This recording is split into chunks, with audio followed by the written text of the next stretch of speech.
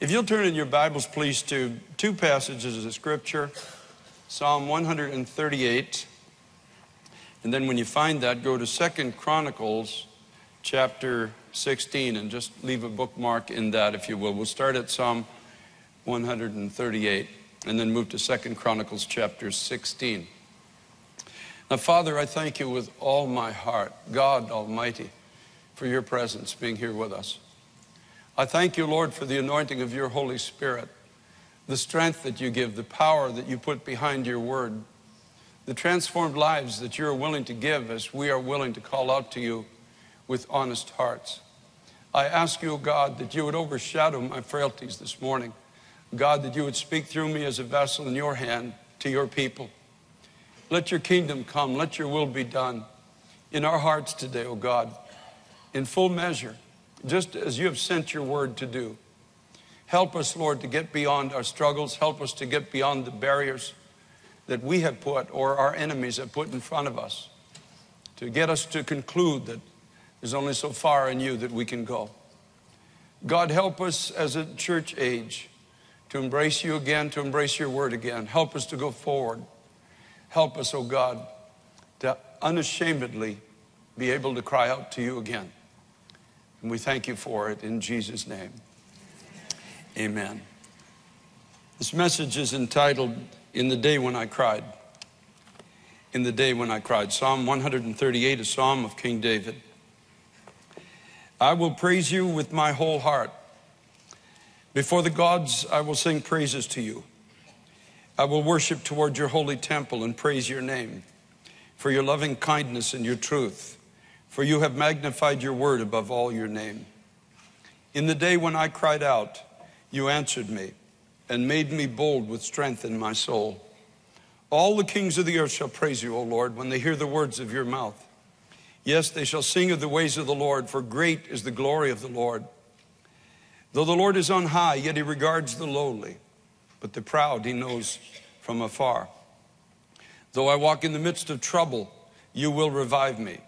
You will stretch out your hand against the wrath of my enemies, and your right hand will save me. The Lord will perfect that which concerns me. Your mercy, O Lord, endures forever. Do not forsake the works of your hands. Now, this Psalm 138 is a psalm of victory. It's written by King David, a man after God's heart who obviously knew the source of his strength.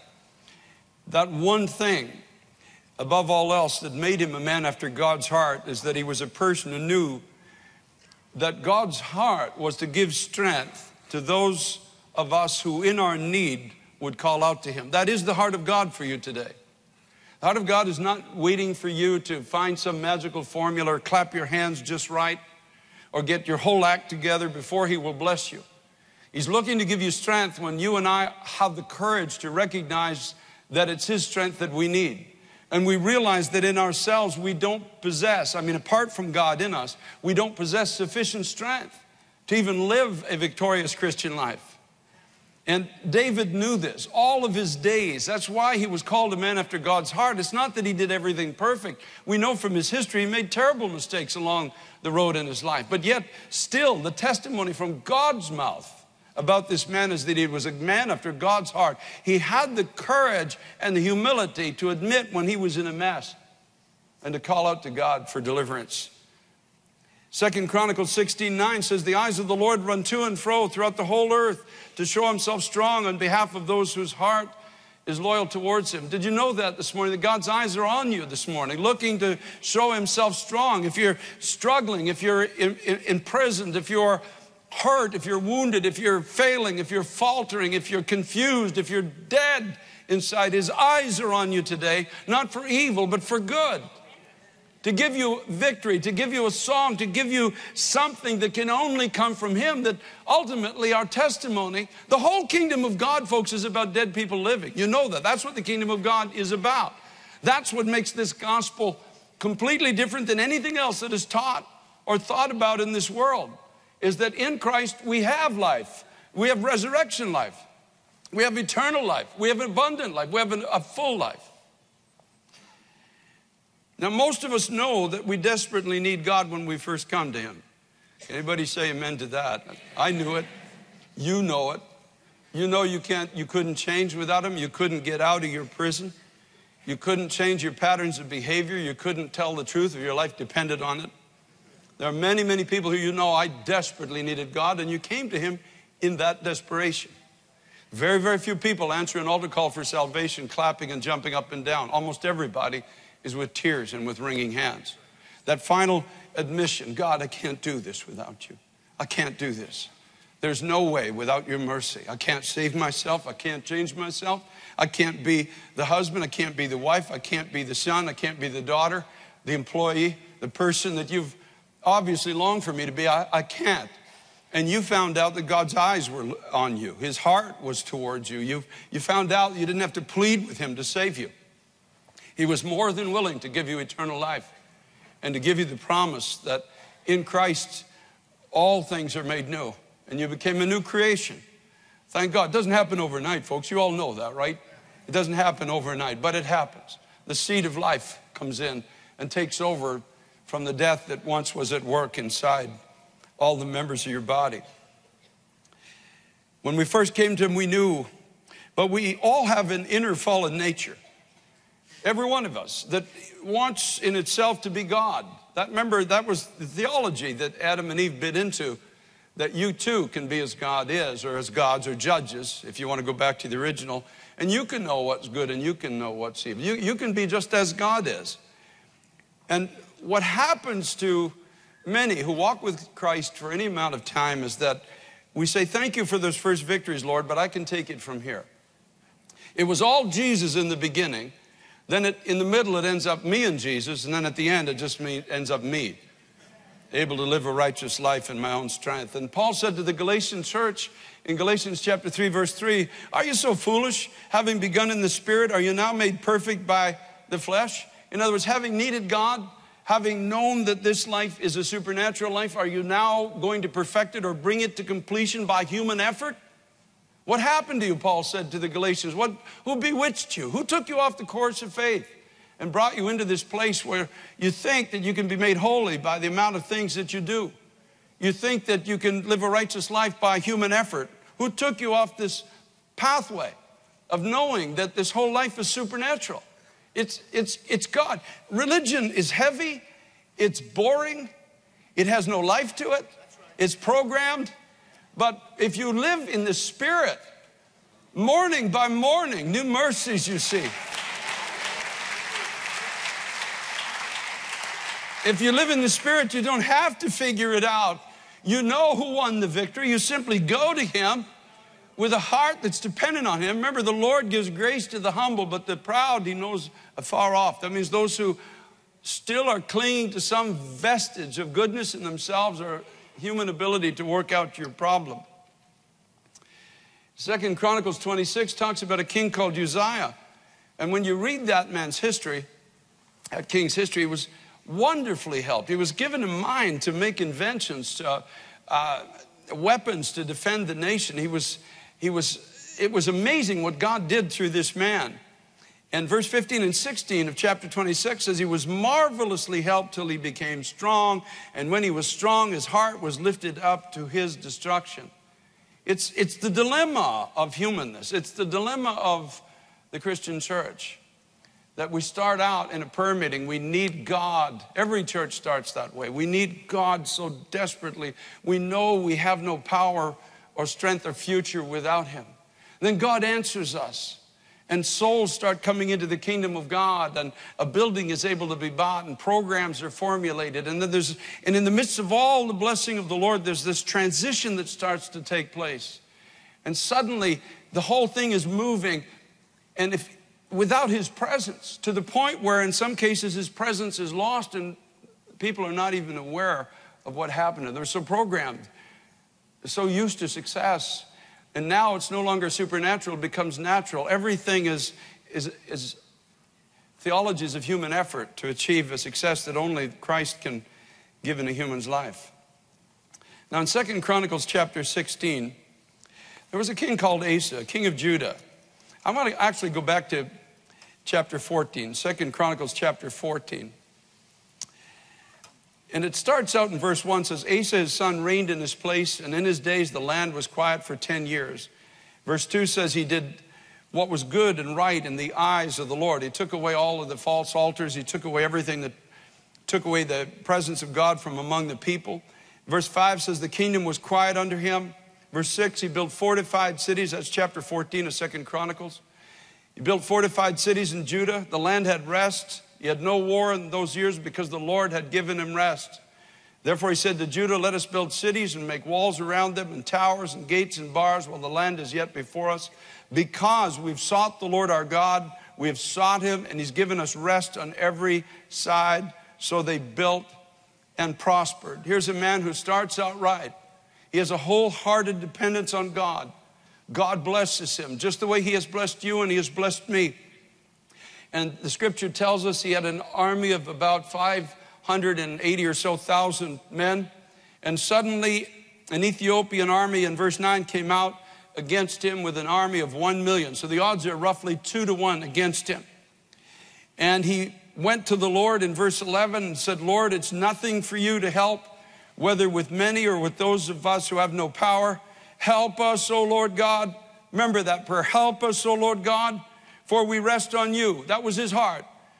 Help me, Lord. I'm leaning on you. Remember when you prayed that. Remember that if that's been the cry of your heart, you've known the blessing of God. Help me, God, for I lean on you. And in your name, we go against this multitude. Help us, O God. From the very beginning of my walk with God, in those first years when I stood in my living room after nine years of suffering, hell, and panic attacks, I stood there only in the name of the Lord Jesus, unable to get out of that prison, unable to escape this fear that had gripped my entire being. And yet I stood there with the Word of God, half of a verse actually in the New Testament of God before us, who can be against us? And with faith in a finished victory on Calvary. And I said, Satan, you can only kill me if God allows you. And if he allows you to kill me, I'm going to heaven. So I, I win now. I win either way. It doesn't matter. I said, You throw everything you've got at me, but I throw back now what I have at you. In the name of Jesus Christ, the Son of God, I resist you. And you know my story. You know that from the soles of my feet, I felt a heat hit my body, go through my legs, my torso, my chest, and out the top of my head. That's almost 40 years ago now. Totally set free by the power of God. I've traveled all over the world, preached the gospel to countless thousands of people. Oh Lord God, we rest on you. We have no power. Help us, Lord God. See, that's a cry that He will never turn away from. That's a cry that you and I must never be too proud to pray. I think it's a cry that has to come back into the church of Jesus Christ again in our generation. When we look at the threatenings, when we see what's happening in our cities, we have to have the courage to say, Oh Lord God, we have no power to fight this. Help us, Lord, for we rest on you. And in your name we go against this multitude. Oh, Lord, you are our God. Do not, do not let men prevail against you. Asa cried out, Oh God, don't let anything of this world be able to triumph over the testimony of who you are and what you are willing to do for those who call out to your name. He won a marvelous victory, marvelous victory. Not only did they defeat that army, but they brought home tremendous spoil after the victory. And in verse chapter 15, verse 1 says, The Spirit of God came upon Azariah, the son of Oded. And he went out to meet Asa and said to him, Hear me, Asa, and all Judah and Benjamin. The Lord is with you while you are with him. If you seek him, he will be found by you. But if you forsake him, he will forsake you. And the forsaking is not just saying we don't believe in God anymore. When we read it, we think that's, that's the, the tenor of it. But really, what it means is if you turn away from trusting in Him, if you turn away from crying out to Him, believing that this is a supernatural walk with Him, and you start leaning on human ingenuity and human effort, you will lose the presence of God. For a long time, verse 3, Israel has been without a true God. Now, this is the prophet still speaking to Asa, and without a teaching priest and without law. But when in their trouble, they turned to the Lord God of Israel and sought him, he was found by them. And in those times, there was no peace to the one who went out, nor to the one who came in, but great turmoil was on all the inhabitants of the land. See, there's no peace when we're not seeking Christ. There's no peace when we're not calling out to Him for victory. There's no peace when we're not simply declaring His victory and entering into that victory by faith. So nation was destroyed by nation and city by city, for God troubled them with every ad- adversity. In other words, the Lord allows adversity to come to remind His people one more time it's not by power, it's not by might, it's by my spirit, says the Lord. It's not by human ingenuity, it's not by intellect. And I'm not, I'm not decrying intellect. I thank God for learning. Thank God for understanding. But that learning and that understanding must bring us again to the power of God, must bring us again to that place of humility. Be you, but you be strong. Verse 7 and do not let your hands be weak, for your word, your work shall be rewarded. And when Asa heard these words in the prophecy of Oded the prophet, he took courage and removed the abominable idols in all the land of Judah and Benjamin from the cities that he had taken in the mountains of Ephraim. And then the scripture tells us he, he gathered the people to himself. They made sacrifice to God. Verse 12 of chapter 15 says, They entered into a covenant to seek the Lord God of their fathers with all their heart and with all their soul. And this man was so zealous about this that he made a decree that whoever would not seek the Lord God of Israel was to be put to death. It was that important to him, whether man or woman, it didn't matter. They took an oath before the Lord, verse 14, with a loud voice, with shouting, trumpets, and ram's horns. All Judah rejoiced at the oath, for they had sworn with all their heart, and they sought him with all their soul. And he was found by them, and the Lord gave them rest all around. He even took his own mother out of leadership because she had built some kind of an obscene idol in the vicinity of where she lived. Now we go to chapter 16. In the 36th year of the reign of Asa. So now there's, there's been a lot of prosperity. There's been a lot of spirituality. There's, there's been a, a knowledge of truth the necessity of seeking God. There's been victory. There's been spoil. I can't tell you how many people I have seen totally blow it at the end of their days. How many walked with God? How many churches walked with God? How many individuals walked with God? And they, they, they had this testimony of His presence, His power, His victory. It, like with, they started out like with Pastor David and this group of young students winning hundreds to Christ in impossible places. And then he gets to the 36th year of his reign. Aren't we supposed to be getting smarter as we get older? Is it possible we get so used to the victory we start taking it for granted? We get so used to the fact that the presence of the Lord is here with us that we forget the presence of the Lord is here with us. We, we, we, as human beings, we all have a tendency to become bored with the familiar. That's what happened to, I believe with all my heart, that's what happened to Solomon. He got bored with the presence of God. He got bored with the temple of God, the work of God, the fact that God wanted to answer prayer. He just got bored. And he started using this brilliant mind that God gave him to, to start raising up choirs and cattle and hedges and vineyards and waterfalls. And he started doing all this other stuff other than what he was called to actually do. And here is it's the 36th year of the reign of Asa.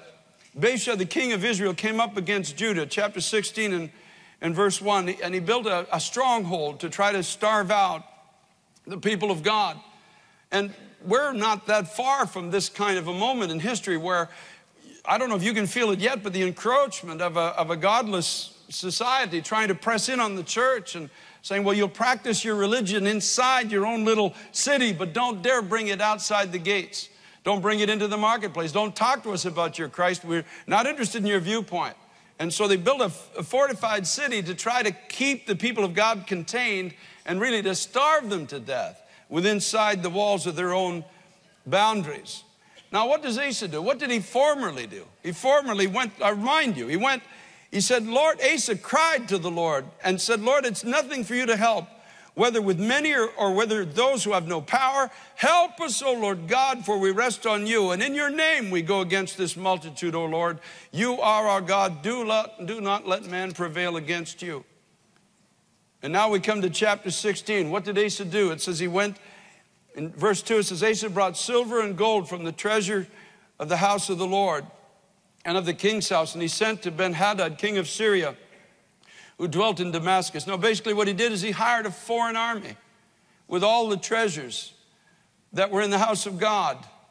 He turned from trusting in God and he started trusting in his own ingenuity. He, instead of looking to the Lord, where we all do in our poverty, he started looking to the wealth of what had come into his life because of what God had given him in the first place. And instead of turning to God, he turned to the treasure.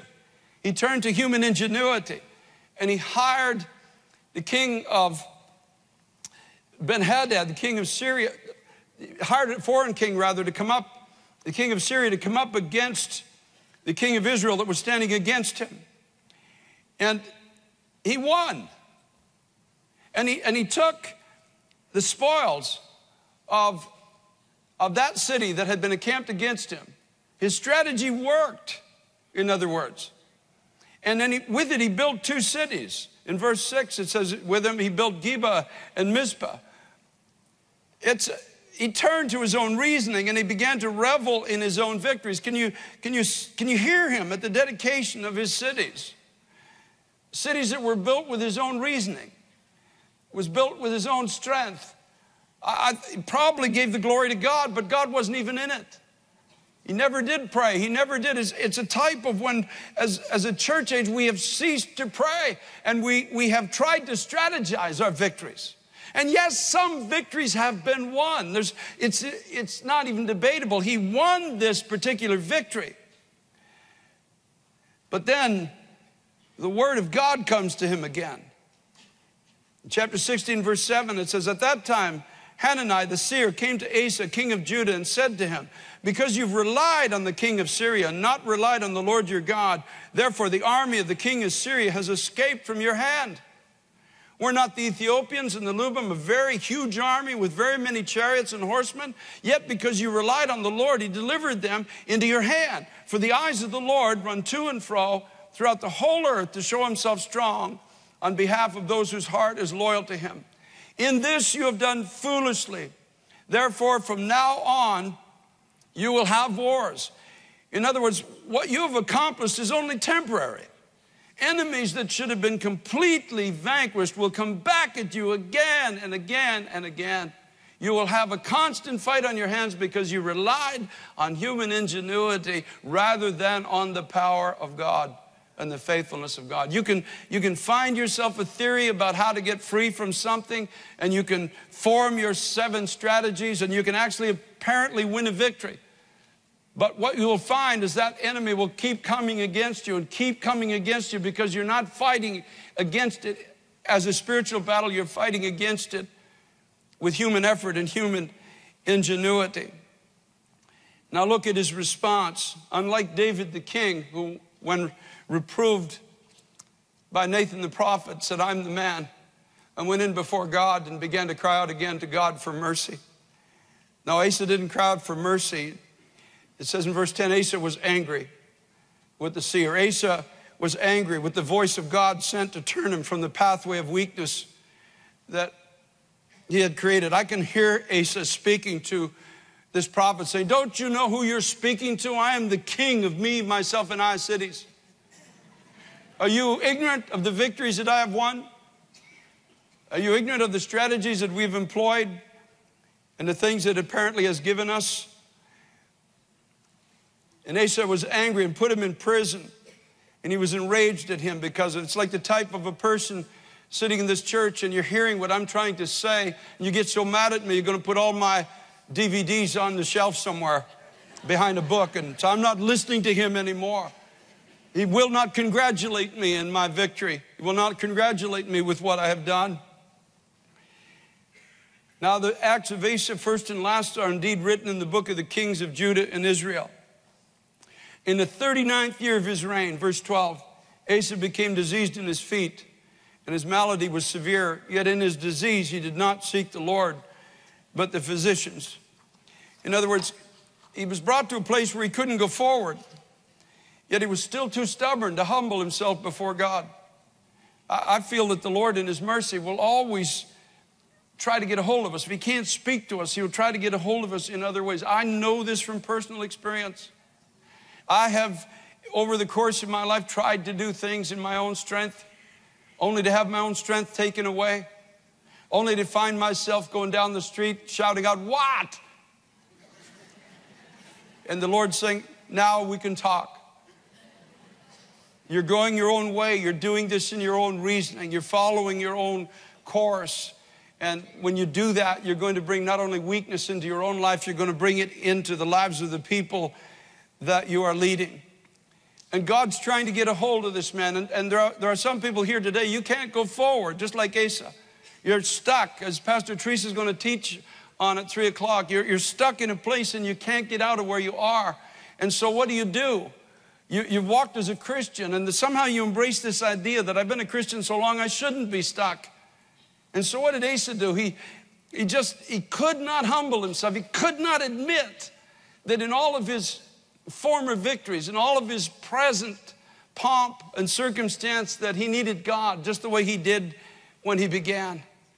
There's something in all of us that when we're successful to me- a measure, we, we start actually fighting against the Holy Spirit instead of moving with God the way we did in the early years.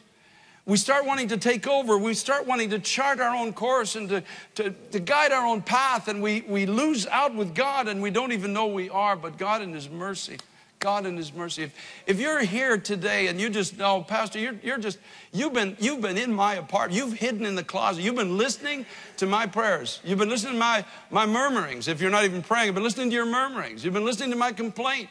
I am stuck, I can't go forward, and I should know better.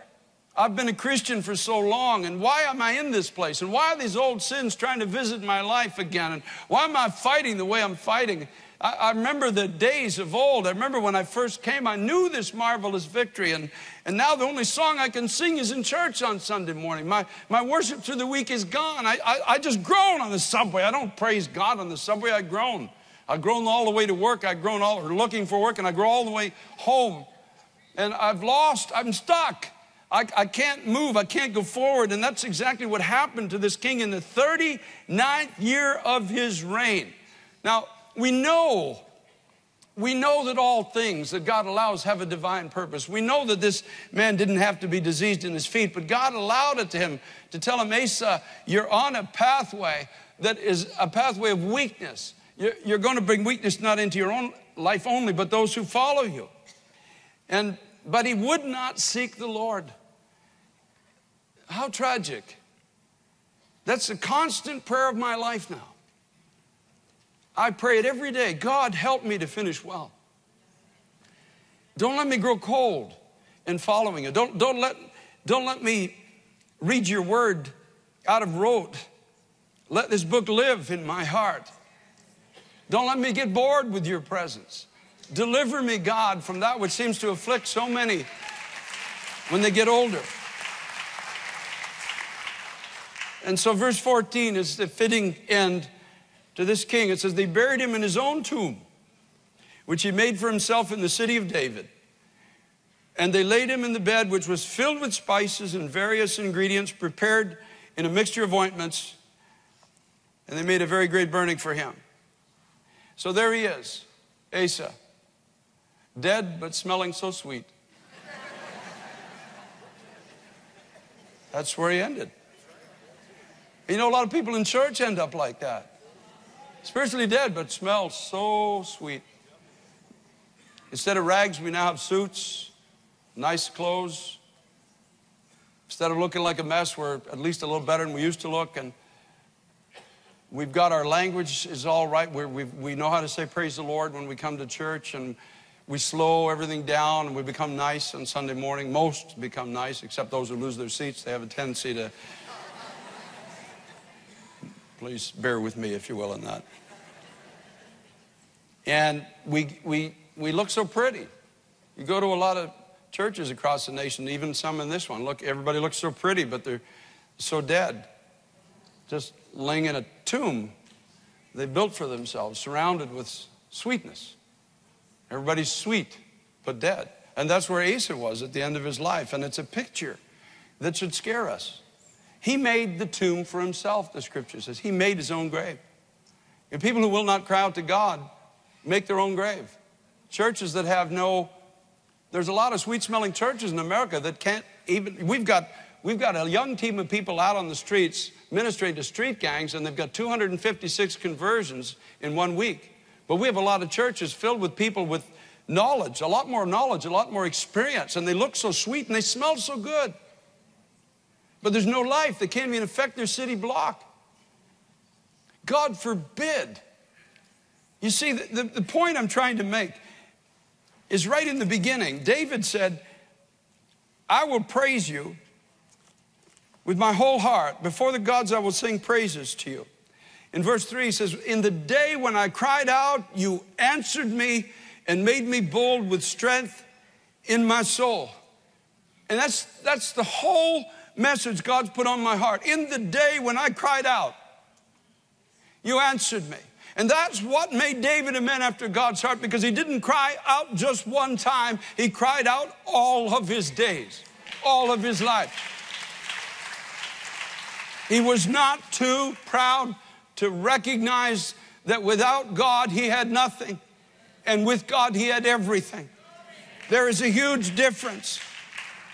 That's why I said, All the kings of the earth will praise you. Oh God, when they hear the words of your mouth, they will sing of your ways, O Lord, for great is the glory of the Lord. Though the Lord is on high, yet he regards the lowly, and he, but the proud he knows from afar. David said, Though I walk in the midst of trouble, you will revive me. You will stretch out your hand against the wrath of my enemies, and your right hand will save me. In the day when I cried, Oh, I pray with all my heart that in this church we never become too proud to cry out to the Lord. We never get to be a people who just love to look sweet and smell sweet, but we're willing to sit in our own grave. There was a man called Lazarus back in scriptural history who died.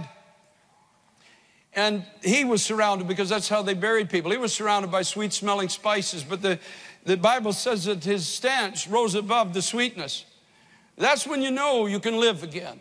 When you can't cover yourself in sweetness anymore. When the man or woman stands there and says, I, I stink. I stink in my suit. I stink in my pretty dress. I'm tired of it. And I'm tired of surrounding myself with, with an, an appearance of life. I'm tired of the struggle. I'm tired of the battle. I'm tired. I'm tired. And I'm tired of living like this. I don't want to live like this anymore. If I'm going to live for God, I'm going to live for God.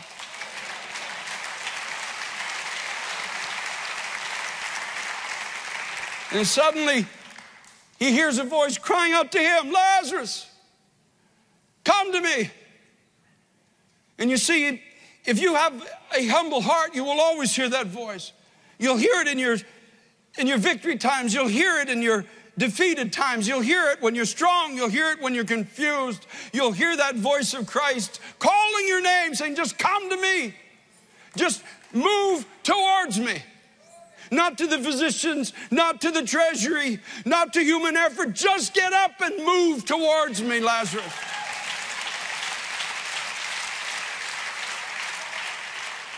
And I have to believe in my heart that there had to be something in that man. I don't, I don't know the fullness of where he was, but I do know he could hear the voice of God calling him. I don't know what's, I don't know. The scripture doesn't record what is the first thing that came out of his mouth. It's only conjecture on my part. But I feel in my heart that laying there surrounded with all these sweet spices, yet his own stench was rising above it. Nobody else but him knew it. Don't forget there was a stone rolled over that door, so nobody else would know but him. He's all covered up, all wrapped up, all made to smell sweet, and everybody outside has an opinion, but the only one who really knows what it really smells like is him. The only one who could really get fed up with that condition of death is Lazarus himself. And I happen to believe it's just a conjecture, it's not written in scripture, but I feel the first thing out of his mouth was, Jesus, you've come. You've come to me. You're not, it's not too late. It's not over. I'm not finished. I'm not dead. I'm going to live. I'm going to sit at the table with you. I'm going to be a testimony of who you are. People are going to come to you because of me, because I was dead and now I'm alive again.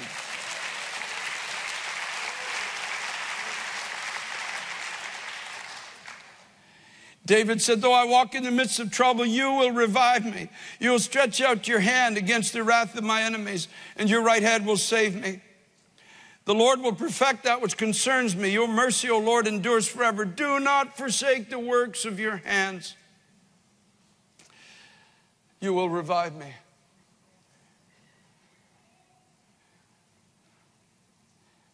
You see, the kingdom of God is for the humble.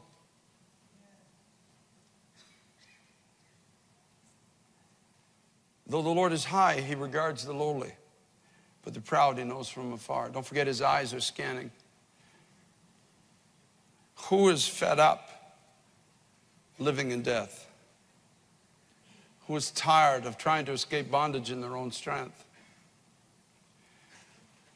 Who has had enough of just being spiritually dead when we know that that's not what we're supposed to be? Who is fed up with human effort trying to produce what only God can produce? Who's tired of the facade? Of smelling sweet on Sunday morning and stinking the rest of the week?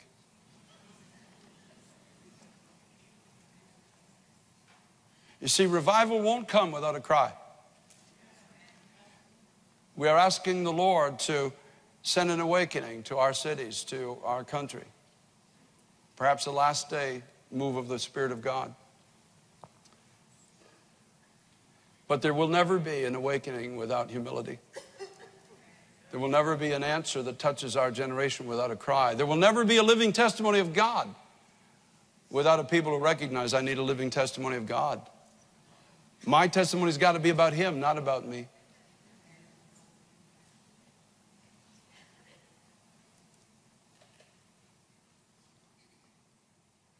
That's what the Lord is waiting for now. We can't come to Him presenting ourselves as any kind of a reason why He should bless the nation. We come to Him with truth. We come to Him in honesty. We come to Him saying, This is what I am. And I'm not willing to play the game anymore. I want to be a Christian who has the resurrection life of God at the center core of my being. I want it to be His victory on my lips, not my own. His righteousness, not mine. I want a testimony of Him, of Jesus Christ, that can stir the hearts of my generation again. There has to be a cry. I want to give an altar call this morning for people who are just Whatever it is your trouble is, David said, Though I walk in the midst of trouble, you will revive me. You will stretch out your hand against the wrath of my enemies, and your right hand will save me. I want to give an altar call for people who are just willing to say, I can't do this anymore, and I'm not willing to play the game. I'm not willing to pretend there's victory. I have been offered life, resurrection life, abundant life, and eternal life. That is my inheritance. And I am completely unwilling to settle for less. It could be a struggle in your marriage. It could be a struggle that you have ethically in the workplace. It could be an addiction that's in your life that you've hidden. It could be secret alcoholism in your life. It could be drug addiction. It could be pornography. You're just simply saying, I'm not willing to play the game anymore. I'm not willing to make my own grave and lie in it in the house of God. Jesus I'll call to you. If you're calling to me, I'll call back to you. And I'm going to trust you for victory and freedom and life. I tell you, if we, if we inherited the full victory that's ours in this sanctuary today, there'd be dancing in the streets. I'm not, I'm not, I'm not overstating anything. You'd, you'd walk out of this house, if you fully comprehended the depth of the victory that is yours, you'd be dancing in the streets. People would be coming to Christ by the dozens. There'd be a song, a testimony, a life, a joy, a vision in your eye that can only come from God. But first, it means that we come out of our graves. First, it means we leave behind that which is dead and we move towards that which is life. And we have the humility to admit it. It doesn't matter how long we've walked with God. Even just lethargy, spiritual lethargy is just much of a grave as anything else, just a bored, just bored with the things of God. You don't want to go to hell, but you don't have enough courage to really live for heaven. It's a bad place to be. But today you hear something. You just hear. If, if I have been faithful to what God's put on my heart, you have heard Jesus calling your name. You've heard him. His eyes have scanned this room and he's seen you and scanned you on the internet and he's seen you and wants to give you life, wants to win victories that could only be attributed to him, wants to give you peace. Asa had peace until he started walking in the flesh. Then he had wars the rest of his life. There's peace to those who walk in the Spirit. And we're going to stand in a moment. And if you would just like to come to this altar and call out to Christ, to Jesus Christ, Jesus, help me. I'm going to invite you to do so. In the annex, North Jersey, here in the main sanctuary. Let's stand together and, if, and we're going to worship for a few minutes. And as we do, just come. Just unashamedly come. Wherever you are, just come as you are. You'll never have it all together. Just slip out, just do it now. Don't wait. Don't try to reason yourself out of a victory. Just slip out. You're having a hard time to be a father, a, a, husband. You're having a hard time to be a wife, a mother. You're having a hard time to speak truth. You're a coward when it comes to Christian things. You're, whatever it is, whatever it is, whatever your trouble is, just come. Just come. We're living in the last moments of time, folks. Just come. Just slip out of wherever you are. Don't play any games with God. You don't have to play games with God. Just slip out. And we're going to pray and we're going to believe God for an incredible victory here this morning in Jesus' name.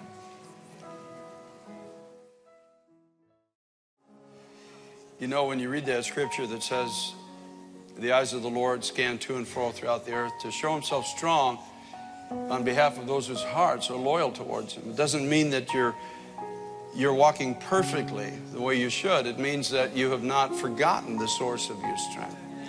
That's who he wants to show himself strong towards that I recognize that my redemption, my life, the breaking of the chains of my past, my present, and my future, and my hope for tomorrow is all in you, Jesus. I, am not going to be disloyal to that. You, you died because I needed a Savior.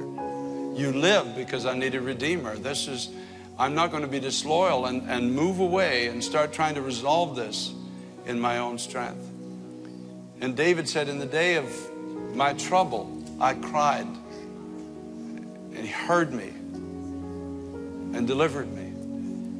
And so I can't, I can't pray this prayer for you. I, I can't lead you in this prayer. It has to come from you.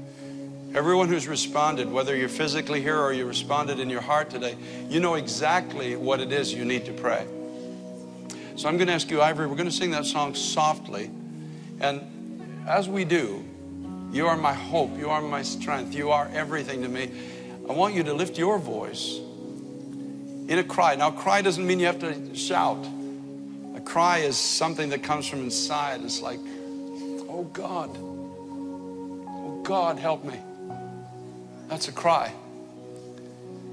God, deliver me. God, strengthen me. I can't get out of this in myself. I, I can't do this without you. A cry can be a whisper. It's got, it's got nothing to do with our, how we do it. It can be as loud as that. It can be as soft as this gentleman here. But I want you to lift your voice now. Just for the next few moments, just lift your voice to God. Everyone here, just lift your voice to God, whatever it is that you need. You recognize it all comes from Him. Just lift your voice to the Lord now. Just lift your voice to God. Don't be ashamed. There's no shame in this. God gives grace to the humble. There's no shame in lifting your voice and declaring your need.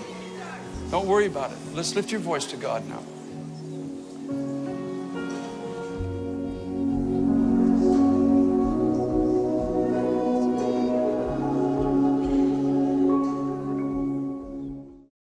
Father, in Jesus' name, God, we ask you to draw us again, all of us, Lord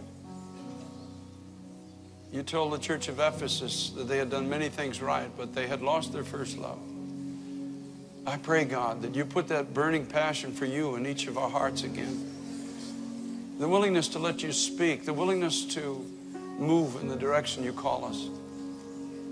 Give us the grace, Lord, to put away our own definition of what life should be and to follow you. Father, I thank you, Lord. God, help your people across this nation now, across this city. Lord, help all of us, God, to come back to you again. Help us, Lord, to pray the way we need to, to live the way only we can with your Spirit. God, we thank you with all of our heart today. I thank you for my brothers and sisters that have come forward today. And Lord, you will not. You said if a, if a son asks a father for bread, will he give him a stone? How much more will your heavenly Father give the Holy Spirit to those who ask? Thank you, Lord, that your eyes have seen many in this sanctuary today looking for help and hope and strength for the future. Lord, you have not disappointed us. You cannot be anything other than who you are.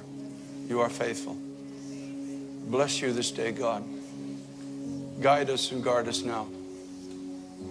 We ask it in Jesus' name.